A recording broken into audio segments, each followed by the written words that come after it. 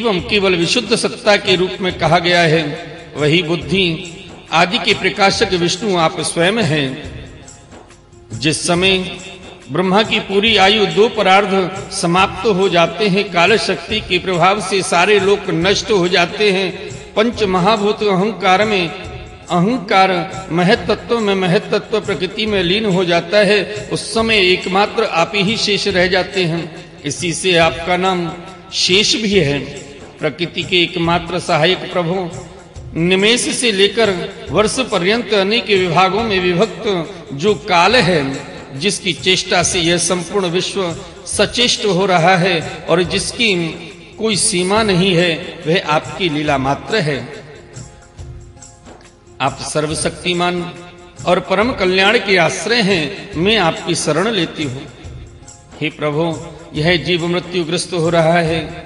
यह मृत्यु रूप कराल व्याल से भयभीत होकर संपूर्ण लोक लोकांतरों में भटकता रहा। परंतु इसी कभी, कहीं भी ऐसा स्थान न मिल सका, जहाँ यह निर्भय होकर रहे। आज बड़े भाग्य से इसी आपकी चरणार बिंदों की शरण मिल गई। अतः अब यह स्वस्थ होकर सुख की नींद सो रहा है। औरों की तो बात ही क्या? स्वयं मृत्यु भी इससे भयभीत होकर भाग गई है। प्रभु आप हैं भक्त भयहारी, और हम लोग इस दुष्ट कंस से बहुत ही भयभीत हैं। अतः आप हमारी रक्षा कीजिए। आपका यह चतुर्भुज दिव्य रूप ध्यान की वस्तु है। इसे केवल मांस, मज्जा, में शरीर पर ही दृष्टि रखने वाले देहाभिमानी पुरुषों के सामने प्रकट मत कीजिए, मधुसूदन। इस पापी कंस को यह बात मालूम न हो कि आपका जन्म मेरे गर्भ से हुआ है। मेरा धैर्य टूट रहा है। आपके लिए मैं कंस से बहुत डर रही हूँ। विश्वात्मन, आपका यह रूप अलौकिक है। आप शंख, चक्र, गदा और कमल की शोभा से युक्त अपना यह चतुर्भुज रूप छिपा लीजिए। प्रलय के समय आप इस संपूर्ण विश्व को अपने शरीर में वैसे ही स्वाभाविक रूप से धारण करते हैं, जैसे कोई मनुष्य अपने शरीर में रहने वाले छिद्र रूप आकाश को, वही परम पुरुष परमात्मा, आप मेरे गर्भवासी हुए। यह आपकी अद्भुत मनुष्य लीला नहीं तो और क्या है?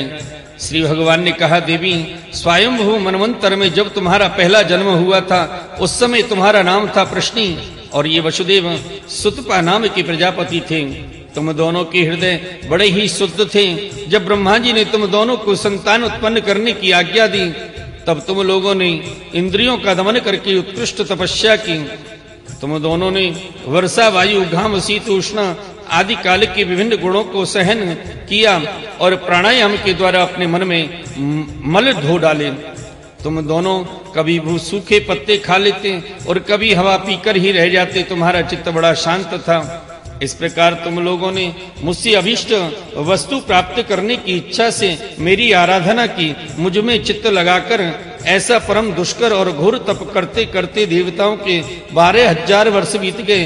पुण्यमयी देवी उस समय में तुम दोनों पर प्रसन्न हुआ, क्योंकि तुम दोनों ने तपस्या, श्रद्धा और प्रेममयी भक्ति से अपने हृदय में नित्य निरंतर मेरी भावना की थी।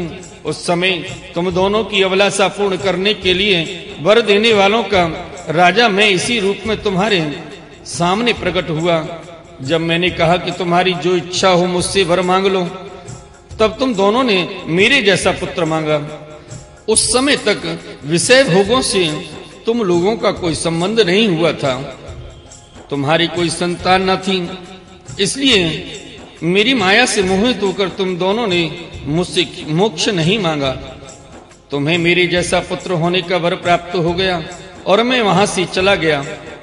अब सफल मनोरथ होकर तुम लोग विषयों का भोग करने लगे। मैंने देखा कि संसार में सीर स्वभाव उदारता तथा अन्य गुणों में मेरे जैसा दूसरा कोई नहीं है। इसलिए मैं ही तुम दोनों का पुत्र हुआ और उस समय मैं प्रश्नि गर्भ के नाम से विख्यात हुआ। फिर दूसरे जन्म में तुम हुई अदिति और वसुदेव हुए कश्यप। उस समय भी मैं तुम्हारा पुत्र हुआ। मेरा नाम था उपेंद्र। शरीर छोटा होने के कारण लोग मुझे बामन भी कहते थे। सती देवी की तुम्हारे इस तीसरी जन्म में भी मैं उसी रूप से फिर तुम्हारा पुत्र हुआ। मेरी वाणी सर्वदा सत्य होती है। मैंने तुम्हें अपना यह रूप इसलिए दिखला दिया कि तुम्हें मेरे पूर्व अवतारों का स्मरण हो जाए। यदि मैं ऐसा नहीं करता तो केवल मनुष्य शरीर से मेरे अवतार की पहचान नहीं हो पाती। तुम दोनों मेरे प्रति पुत्र भाव तथा निरंतर ब्रह्म भाव रखना इस प्रकार वात्सल स्नेह और चिंतन के द्वारा तुम्हें मेरे परम पद की प्राप्ति होगी। श्री सुखदेव जी कहते हैं हे परीक्षित, भगवान इतना कहकर चुप हो गए। अब उन्होंने अपनी योग माया से पिता माता के देखते देखते तुरंत एक साधारण शिशु का रूप धारण कर लिया। तब वसुदेव जी ने भगवान की प्रेरणा से अपने पुत्र को लेकर सूत का ग्रह से बाहर निकलने की इच्छा की उसी समय नंद पत्नी यशोदा के गर्भ से उस योग माया का जन्म हुआ। जो भगवान की शक्ति होने के कारण उनके समान ही जन्म रहित है। उसी योग माया ने द्वारपाल और प्रवासियों की समस्त इंद्रियाँ वृत्तियों की चेतना हर ली। वे सब के सब अचेत होकर सो गए। बंदी गृह के सभी दरवाजे बंद थे। उनमें बड़े बड़े किवाड़ लोहे की जंजीरें और ताले जड़े हुए थे। उनकी बाहर जाना बड़ा ही कठिन था, परंतु वसुदेव जी भगवान श्री कृष्ण को गोद में लेकर जो ही उनके निकट पहुँचे, त्यों ही वे सब दरवाजे आपसे आप खुल गए। ठीक वैसे ही जैसे सूर्योदय होते ही अंधकार दूर हो जाता है। उस समय बादल धीरे धीरे गरज कर जल की फुहारें छोड़ रहे थे। इसलिए शेषी जी अपने फणों से जल को रोकते हुए भगवान के पीछे पीछे चलने लगे।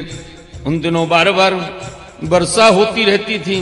इससे यमुना जी बहुत बढ़ गई थी। उनका प्रभाव गहरा और तेज हो गया था। तरल तरंगों के कारण जल पर फेन ही फ़ैन हो रहा था। सैकड़ों भयानक भंवर पड़ रहे थे।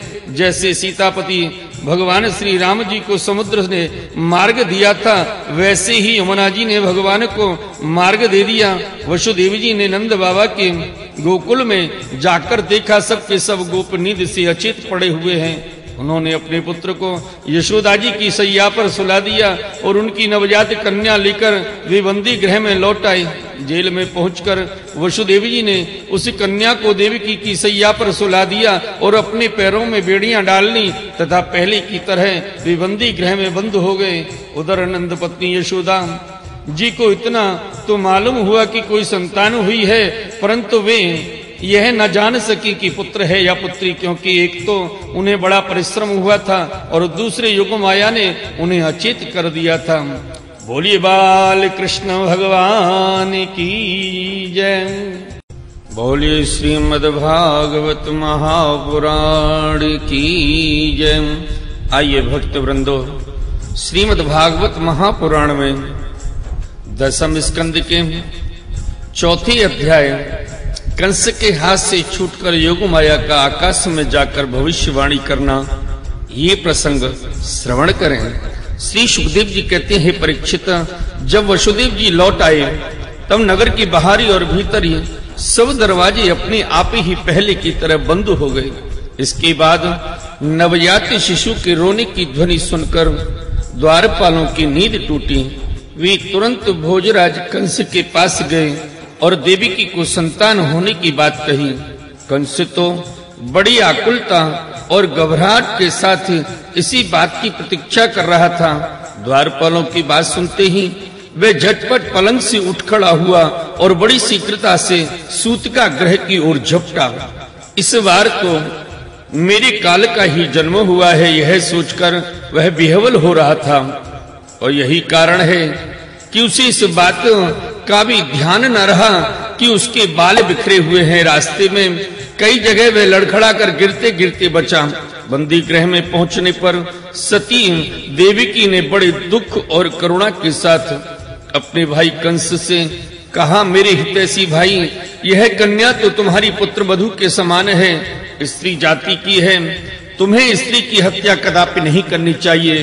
भैया तुमने दैववश मेरे बहुत से अग्नि के समान तेजस्वी बालक मार डाले। अब केवल यही एक कन्या बच्ची है, इसी तो मुझे दे दो। अवश्य ही मैं तुम्हारी छोटी बहन हूँ, मेरे बहुत से बच्चे मर गए। इसलिए मैं अत्यंत दीन हूँ, मेरे प्यारे और समर्थ भाई, तुम मुझ मंद भागनी को यह अंतिम संतान अवश्य दे दो। श्री सुखदेव जी कहते हैं, परीक्षित दीनता के साथ रोते रोते याचना की। बहुत, परंतु कंस बड़ा दुष्ट था उसने देवी की जी को झिड़क कर उसके हाथ से वह कन्या छीन ली। अपनी उस नन्ही सी नवजात भानजी के पैर पकड़कर कंस ने उसे बड़े ज़ोर से एक चट्टान पर दे मारा। स्वार्थ ने उसके हृदय से सौहार्द को समूल उखाड़ फेंका था, परंतु भगवान श्री कृष्ण की वह छोटी बहन साधारण कन्या तो थी नहीं। देवी जी उसके हाथ से छूटकर तुरंत आकाश में चली गई और अपने बड़े बड़े आठ हाथों में आयुध लिए हुए दीख पड़ी। अष्टभुजा धारण कर वह दिव्य माला वस्त्र, चंदन और मणि में आभूषणों से विभूषित थी। उसके हाथों में धनुष, त्रिशूल, बाण, ढाल, तलवार, शंख चक्र और गदा, ये आठ आयुध थे। सिद्ध चारण गंधर्व, अप्सरा किन्नर और नागगढ़ बहुत सी भेंट की सामग्री समर्पित करके उसकी स्तुति कर रहे थे। उस समय देवी ने कंस से ये कहा, अरे मूर्ख, मुझे मारने से तुझे क्या मिलेगा?